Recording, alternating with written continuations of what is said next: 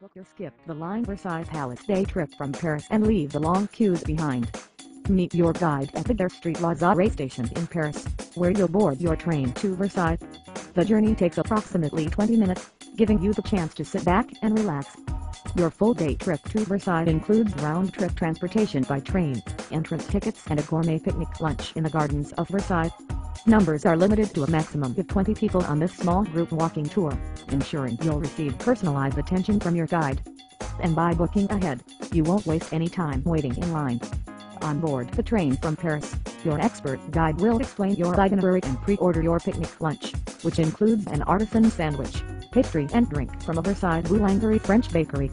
In Versailles, your first stop will be a gourmet food market, where you can purchase any other